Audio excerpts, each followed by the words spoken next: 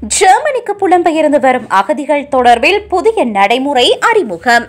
German நாட்டிற்கு வரும் அகதிகளை ஜெர்மன் நாட்டின் எல்லையில் வைத்து விசாரணை நடத்துவதற்கான திட்டம் அறிமுகப்படுத்தப்பட்டுள்ளது. இது தொடர்பாக அமைச்சர்கள் மத்தியில் பேச்சுவார்த்தை நடைபெறவுள்ளது.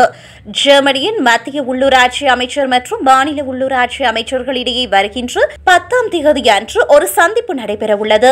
இந்த சந்திப்பின் பொழுது தற்பொழுது ஜெர்மன் நாட்டில் பல லட்சக்கணக்கான அகதிகள் வருகின்ற விடயங்கள் மேலும் அகதிகளுக்கு தங்குமிட வசதிகள் தொடர்பில் ஆராயப்பட உள்ளதாக தெரிய வந்திருக்கின்றது. இந்த நிலையில் இந்த சந்திப்பானது எதிர்வரும் பத்தாம் தேதி நடைபெற இருக்கின்ற நிலையில் மத்திய உள்ளூராட்சி அமைச்சர் ஒரு கருத்தை தெரிவித்துள்ளார்.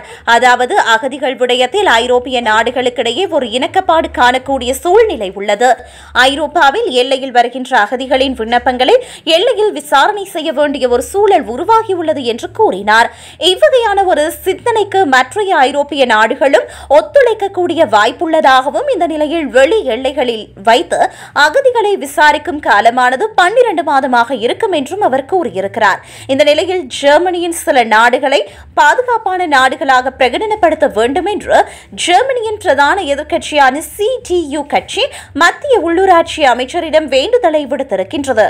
குறிப்பாக ஜோர்ஜியா மொரோக்கோ அல்ஜீரியா டுனேஷியன் மற்றும் இந்தியா போன்ற நாடுகளை பாதுகாப்பான நாடுகளாக பிரகடனப்படுத்துவதன் மூலம் இவ்வகையான நாடுகளில் இருந்து வருகின்ற அகதிகளுக்கு ஜெர்மன் நாட்டில் அகதி அந்தஸ்து கொடுக்கக்கூடாத சூழ்நிலை உள்ளதாக கூறியுள்ளனர்.